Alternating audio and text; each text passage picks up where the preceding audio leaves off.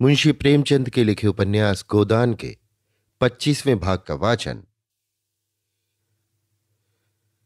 बोला इधर दूसरी सगाई लाए थे। औरत के बगैर उनका जीवन नीरस था। जब तक झुनिया थी, उन्हें हुक्का पानी दे देती थी। समय से खाने को बुला ले जाती थी। अब बेचारे अनाथ से हो गए थे। बहुओं को घर के काम धाम से छुट्टी न मिलती थी। उनकी क्या सेवा सत्कार करती? इसलिए अब सगाई परमावश्यक हो गई थी। संयोग से एक जवान विधवा मिल गई, जिसके पति का देहांत हुए केवल तीन महीने हुए थे। एक लड़का भी था। भोला की लार टपक पड़ी, झटपट शिकार मार लाए। जब तक सगाई न हुई, उसका घर खोंद डाला। अभी तक उसके घर में जो कुछ था, बहुओं का था। जो चाहती थी, करती थी। जैसे चाहती थी, रहती थी। जंगी जब से अपनी स्त्री को लेकर लखनऊ चला गया था कामता की बहू ही घर की स्वामिनी थी। चार छह महीनों में ही उसने तीस चालीस रुपए अपने हाथ में कर लिए थे। शेर आध शेर दूध दही चोरी से बेच लेती थी। अब स्वामिनी हुई उसकी सौतेली सास। उसका नियंत्रण बहू को बुरा लगता था और आए दिन दोनों में तकरार होती रहती थी। यहाँ तक कि औरतों के पीछे भोला और कामता में भी कहाँ सुनी हो गई। झगड़ा इतना बढ़ा कि अलगौझी की नौबत आ गई और ये रीत सनातन से चली आई है कि अलगौझे के समय मारपीट अवश्य हो। यहाँ उस रीत का पालन किया गया। कामता जवान आदमी था। भोला का उस पर जो कुछ दबाव था, वो पिता के नाते था। मगर नई स्त्री लाकर बेटे से आदर पाने का अब उसे कोई हक न रहा था। कम से कम कामता इसे स्वीकार न करता था। उसने भोला को पटक कर कई लाते जमाई और घर से निकाल दिया। घर की चीज़ें न छूने दी। गाँव वालों में भी किसी ने भोला का पक्ष न लिया। नई सगाई ने उन्हें नक्कू बना दिया था। रात तो उन्होंने किसी तरह एक पेड़ के नीचे काटी, सुबह होते ही नौखे राम के पास जा पहुँचे और अपनी फरियाद सुनाई। भोला का गाँव भी उन्हीं के इलाके में था और इलाके भर के मालिक मुखिया जो कुछ थे वही थे। नोखे राम को भोला पर तो क्या दाया आती, पर उनके साथ एक चटपटी रंगीली स्त्री देखी तो चटपट आश्रय देने पर राज़ी हो गए। जहाँ उनकी गायें बंधती थी, वहीं एक कोठरी रहने को दे दी। अपने जानवरों की देखभाल सानी भूसे के लिए उन्हें एकाएक एक जानकार आदमी की ज़रूरत मालूम होने लगी। भोला को तीन रुपया महीना और शेर भर अनाज पर नौकर रख लिया, नौकर रख लिया। नौखेराम नाटे, मोटे, खलवाट, लंबी नाक और छोटी छोटी आँखों वाले सांवले आदमी थे। बड़ा सा पगड़ बांधते, नीचा कुर्ता पहनते और जाड़ों में लिहाफ ओढ़कर बाहर आते जाते थे। उन्हें तेल की मालिश कराने में बड़ा आनंद आता था। इसलिए उनके कपड़े हमेशा मैले, चीकट रहते थे। उनका परिवार बहुत बड़ा था। सात भाई और उनके बाल बच्चे सभी उन्हीं पर आश्रित थे। उस पर स्वयं उनका लड़का नवे दर्जे में अंग्रेज़ी पढ़ता था और उसका बबुआई ठाठ निभाना कोई आसान काम न था। राय साहब से उन्हें केवल बारह रुपये वेतन मिलता था। मगर खर्च सौ रुपये से कौड़ी कम न था। इसलिए आसामी किसी तरह उनके चंगुल में फंस जाए तो बिना उसे अच्छी तरह चूसे छोड़ते न थे। पहले छह रुपये वेतन मिलता था, तब असामियों से इतनी नोच खसोट न करते थे। जब से बारह रुपये हो गए थे, तब से उनकी तृष्णा और भी बढ़ गई थी। इसलिए राय साहब उनकी तरक्की न करते थे। गाँव में और तो सभी किसी न किसी रूप में उनका दबाव मानते थे। यहाँ तक कि दाता दीन और झिंगुरी सिंह भी उनकी खुशामद करते थे। केवल पटेश्वरी उनसे ताल ठोकने को हमेशा तैयार रहते थे। नोखेराम को अगर ये जौम था कि हम ब्राह्मण हैं और कायस्थों को उंगली पर नचाते हैं तो पटेश्वरी को भी घमंड था कि हम कायस्थ हैं, कलम के बादशाह। इस मैदान में कोई हमसे क्या बाजी ले जाएगा? फिर वो जमींदार के नौकर नहीं, सरकार के नौकर हैं, जिसके राज में सूरज कभी नहीं डूबता। नोखेराम अगर एकादशी को व्रत रखते हैं और पाँच ब्राह्मणों को भोजन कराते हैं तो पटेश्वरी हर पूर्णमासी को सत्यनारायण की कथा सुनेंगे और दस ब्राह्मणों को भोजन कराएँगे। जब से उनका जेठा लड़का सजावल हो गया था, नोखेराम इस ताक में रहते थे कि उनका लड़का किसी तरह दसवीं पास कर ले तो उसे भी कहीं नकल नवीसी दिला दें। इसलिए हुक्काम के पास फसली सौगातें लेकर बराबर सलामी करते रहते थे। एक और बात में पटेश्वरी उनसे बढ़े हुए थे। लोगों का ख्याल था कि वो अपनी विधवा कहार इनको रखे हुए हैं। अब नोखे राम को भी अपनी शान में ये कसर पूरी करने का अवसर मिलता हुआ जान पड़ा। भोला को ढांढस देते हुए बोले, तुम यहाँ आराम से रहो भोला, किसी बात का खटका नहीं। जिस चीज़ की ज़रूरत हो हमसे आकर कहो। तुम्हारी घरवाली है, उसके लिए भी कोई ना कोई काम निकल आएगा। बखारों में अनाज रखना, निकालना, पछोड़ना, फटकना क्या थोड़ा काम है?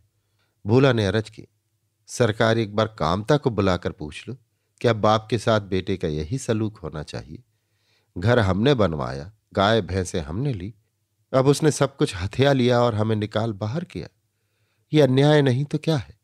हमारे बालिक तो तुम ही हो। तुम्हारे दरबार से इसका फैसला होना चाहिए। नौखेराम ने समझाया। भोला तुम उससे लड़कर पेश न पाओगे। उसने जैसा किया है उसकी सजा उसे भगवान देगा। बेईमानी करके कोई आज तक फलीभूत हुआ है? संसार में अन्याय न होता तो इसे नरक क्यों कहा जाता? यहाँ न्याय और धर्म को कौन पूछता है? भगवान सब देखते हैं। संसार का रत्ती रत्ती हाल जानते हैं। तुम्हारे मन में इस समय क्या बात है? ये उनसे क्या छिपा है? इसी से तो अंतर्जामी कहलाते हैं। उनसे बचकर कोई कहा जाएगा? तुम चुप होके बैठो।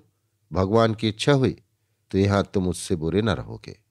यहाँ से उठकर भोला ने होरी के पास जाकर अपना दुखड़ा रोया। होरी ने अपनी बीती सुनाई। लड़कों की आजकल कुछ ना पूछो भोला भाई। मर मर कर पालो, जवान हो तो दुश्मन हो जाए।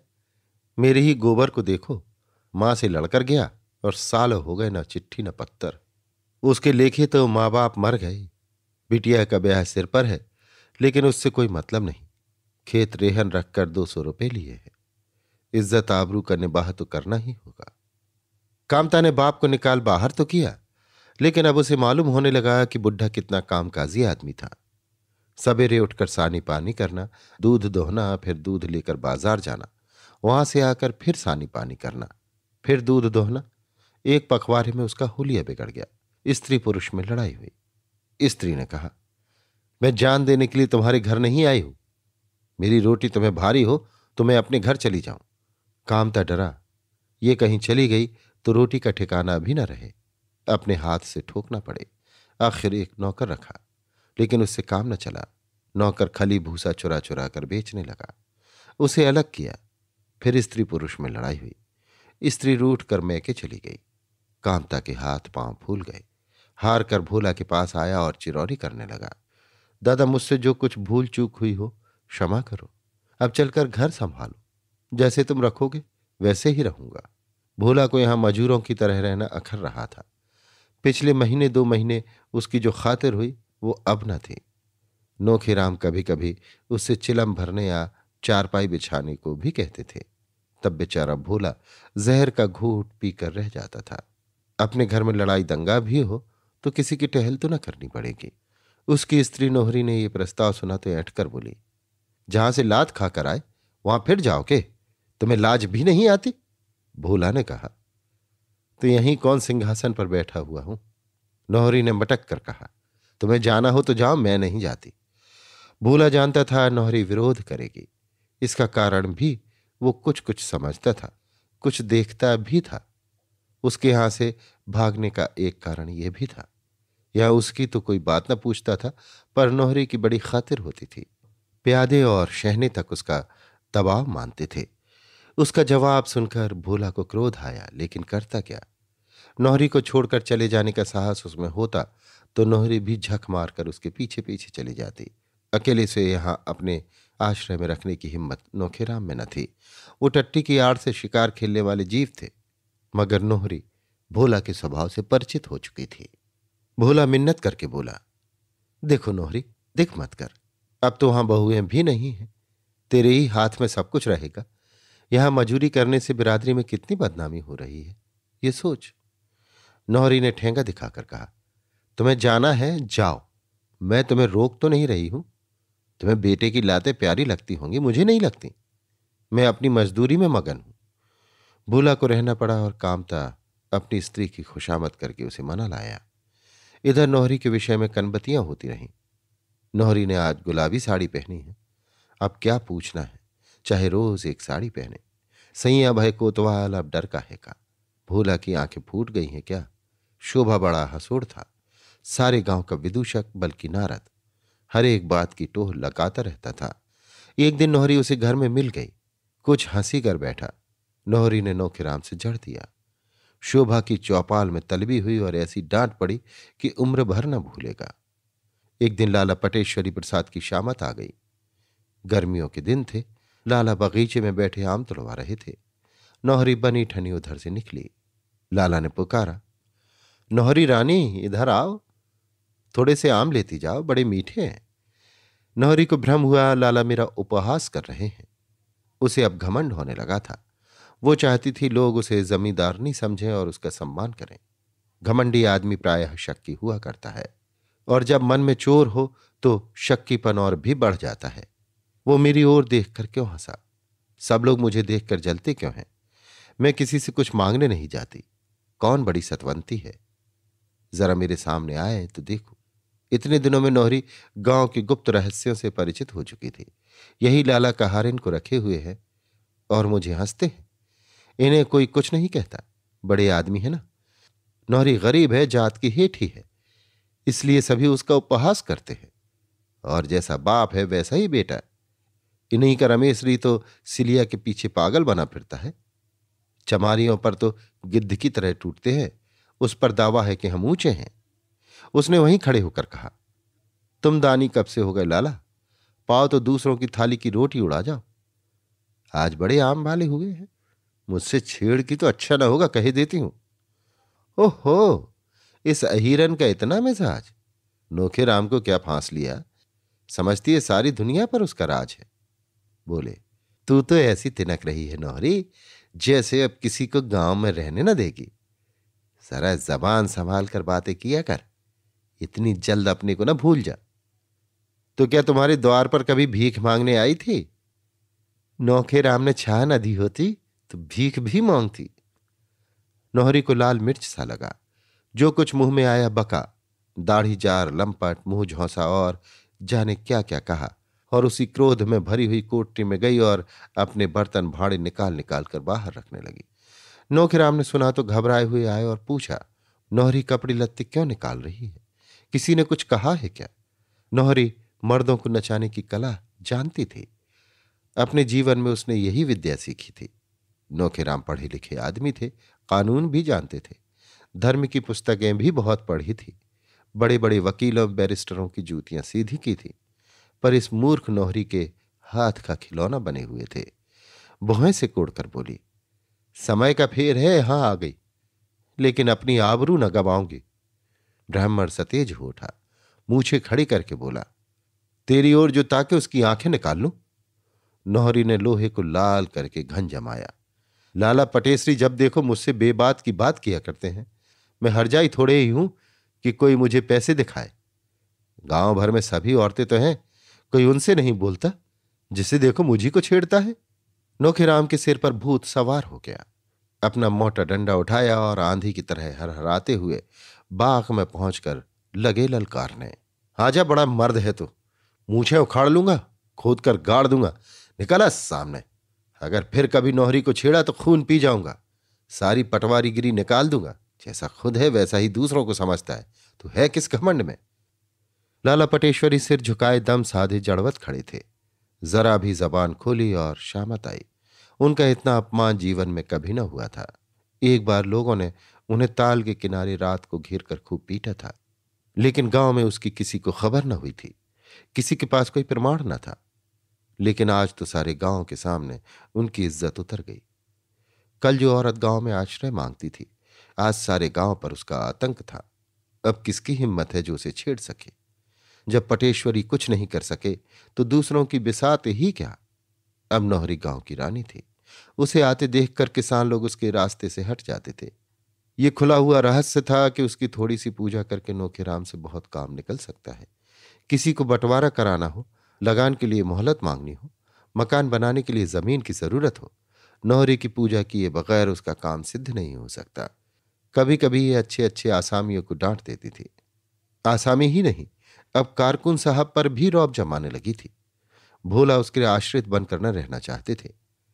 औरत की कमाई खाने से ज़्यादा अधम उनकी दृष्टि में दूसरा काम न था।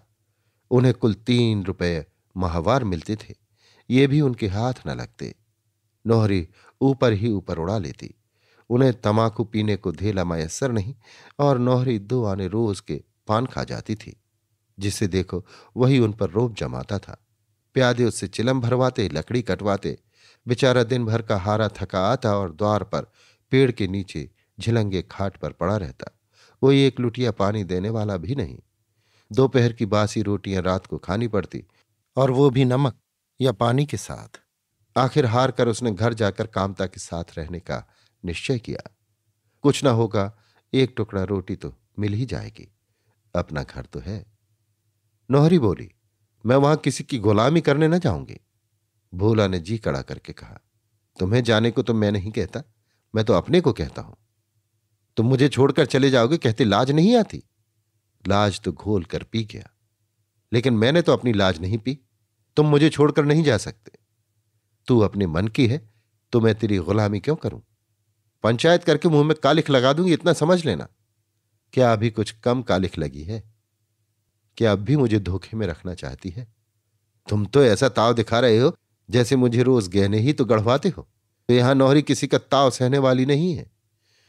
भोला झल्ला कर उठे और सिराने से लकड़ी उठाकर चले कि नौहरी ने लपक कर उनका पहुँचा पकड़ लिया। उसके बलिष्ठ पंजों से निकलना भोला के लिए मुश्किल था। चुपके से कैदी की तरह बैठ गए। एक जमाना था जब वो औरतों को अंगुलियों पर नचाया करते थे। आज वो एक औरत के करपाश में बंधे हुए हैं। और किसी तरह निकल नहीं सकते। हाथ छुड़ाने की कोशिश करके वो पर्दा नहीं खोलना चाहते। अपनी सीमा का अनुमान उन्हें हो गया है। मगर वो क्यों उससे निडर होकर नहीं कह देते कि तू मेरे काम की नहीं है? मैं तुझे त्यागता हूँ। पंचायत की धमकी देती है। पंचायत क्या कोई हवा है? अगर तुझे पंचायत का डर नहीं तो मैं क्यों पंचायत से डरूं? लेकिन ये भाव शब्दों में आने का साहस न कर सकता था। नौहरी ने जैसे उन पर कोई वशीकरण डाल दिया हो। अभी आप सुन रहे थे मुंशी प्रेमचंद के लिखे उपन्यास गोदान के पच्चीसवें भाग का वाचन।